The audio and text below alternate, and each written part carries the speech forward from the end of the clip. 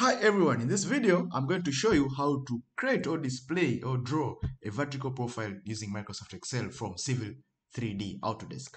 So for instance, you have a vertical profile here with stations and elevations. So I want to do a display this in Microsoft Excel. So now the process is we need to generate a report either in CSV or in any other format like LandXML so that we can access those points in order to display a graphical presentation using Microsoft Excel. So in Autodesk Civil 3D, what you're required to do is you need to go to your toolbox where you get your report manager. By clicking toolbox, report manager, because this is a vertical profile, that means we expand here, profile. So by expanding profile here, because you need this profile either in CSV or in some format which can be readable by Microsoft Excel, that means we are required to select profiles in CSV. So by double clicking this, it will give us a dialog box option. That means for my case, I'll I'll go with the default and specify LandXML. You can leave this by default. Then pressing OK, that means our Autodesk Civil 3D will automatically generate a profiles in CSV format, which later I'm going to show you how to display this beautiful in Microsoft Excel. So that's it. So it opens our CSV or Microsoft Excel format. That's it. So we have like PVI, point of vertical intersection, station elevation, graded cover So for my case, because I'm interested in only two particular columns, station and elevation, that means I'll copy this, then I can just minimize, then open a new spreadsheet. That means I'll paste them here. So by pasting here, these are pasted as only values. So I want to do the data cleaning so that we can use and display this graphically in, my, in our beautiful Microsoft Excel. So I'm going to do now to remove the blank rows. now. So how to do this? You press Ctrl G. There's a video I did previously on how to delete blank rows easily. So I'll put a link if you want to follow it up. So I'll go first here by Ctrl G, then special. That's Ctrl G means go to special. So I'll select blanks here. So by selecting blanks, this I'm doing the data cleaning of my data from AutoCAD Civil 3D. So by pressing OK, all my blank rows will be selected. That means I'm able now to delete sheet rows. So by clicking delete sheet rows, all the empty rows have been deleted. So that's it. That's the first step. So after doing that, that means I have my station and elevation. Okay, fine. I can just make this bold and just get that way. Yeah. Let me put this in caps. Station and elevation. Yeah, that's it. So after having this, what I'm required to do now, because these are numbers, I want to put these stations in chainage. I remember previously I also did the same. I did, I did a video showing how to display these numbers mathematically using Microsoft Excel easily to assign chainages. So I, there's a video, I'll put a link on it, but I'm just going to do it here slowly and fast at, at par. So how to do it is first I need to insert a sheet column here. So by insert a sheet column, that means I'll put an equal sign, then plus, like connecting, then I write text here, text formula. Then by clicking this text formula, then I bracket a value. That means the value is this one here. Then I put a comma here. Then I want to know because it asks for the format text. So format text, because I want to change format, then 0 plus 0, 0, 0. Then string close, then bracket, then bingo. So I have this in chainage already. So I can just drag to the most, the end of the road, which is 12.792 kilometers. So I have my changes here already. So that's it. So now I want to, I want to now to, to use these numbers, change format into a way that I can just play around with them and see how I'm going to go about it. So I'll just go straight like that.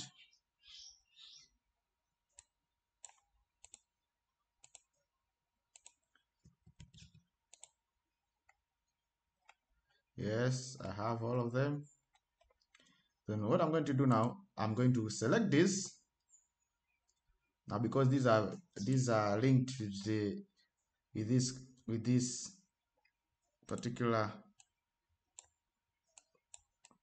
particular station.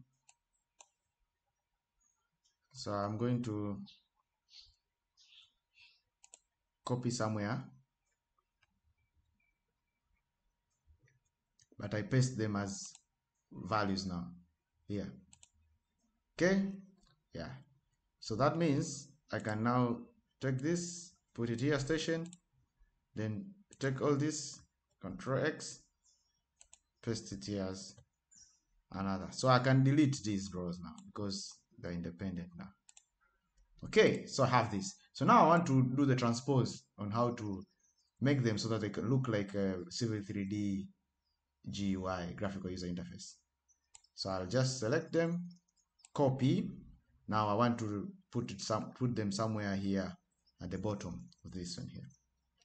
So I'll select this, then paste, expand the paste option, then transpose here, transpose. You see? So by selecting transpose, you have them already oriented in different direction. So I can, because it's all selected, so now they're here at the bottom. So what you're trying to do is to create something like this here at the bottom here. You see? Something like this at the bottom by transposing. So now I have them. So what I'll do is I'll just do this. Right, right click here in this particular cell, then format cells. I want to format the cells to align them vertically. So I'll go to the alignment now because it's alignment. Then I'll turn this to 90 degrees. You see, 90 degrees. So by pressing OK, that means my values are already oriented to the particular direction. So for my case, for this, I can just put put them in a vertical way, format cells with this particular two values. Then this I can put it in 40 somewhere zero. Okay. So for profile station, these are horizontal aligned and these ones are just like that. So you can just you can do the formatting here just like this yeah selecting yeah just like that. So what we're going to do now we need to to select all of them. So by selecting all of them now we need to insert a graph. So we need to go insert button then here recommended charts so they are different. So we need to select this one here. Use this chart 2d line. So by by selecting this that means we have it already. See the profile is starting to give a shape a beautiful one I can say so I'll make it start it from here, then do the expanding using the diagonal diagonal box lines. So I'll just go directly to that side. Yes, take it, take it, take it, take it, take it. Take it. So you see here. So you're on chainage 9. So you can just take it to the to chainage 12. Take it, take it, take it, take it. Yes, you're starting to gain something in shape. Yeah, there you are. Bingo! Just like that. So you see, looks like we have something already. Of course, I've done the, a lot of expansion and you can always keep it because this is very big. So that's that's like that. So now you need to format now. You need to select this, then chart design. So from chart design, you can just go to here, then grid lines, you can add major vertical here yes like that. Takes the the shape there. Then you can add some of the other elements like chart title here above chart. So it's not seen you need to scroll here above chart here. So you can add it here. So you can write here. So this is vertical vertical alignment from Civil 3D to Excel. Then you can bold it and underline it. Okay. So that's the way of doing it. So this is the way of displaying your this Civil 3D data in Microsoft Excel, actually the vertical profile. So you can, if you, if you find it's too big, you can always get it from here. I mean, sorry, get it from here decrease so that it looks it gives a shape sort of because it has been very much elongated. See? Can reduce this to chainage 5 here.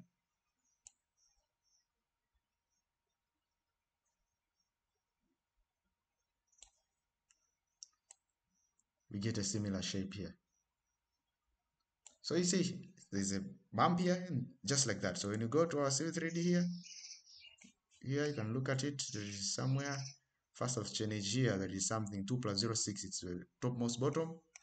Then we'll go and cross check here. At the end there is a bump here which i was saying so 2 plus 0 6 we can cross check here. 2 plus 0 6 2 plus 0 6 2 plus 0 6 here. Somewhere here. 2 plus 0, 6, 0. 2 plus 0, 6, 0. Yeah. So that's it. That's it. 2 plus 0, 6, 0. Yeah, somewhere here. So there's a bump. So that's it. So that's the way of doing it using Microsoft Excel. Thank you a lot.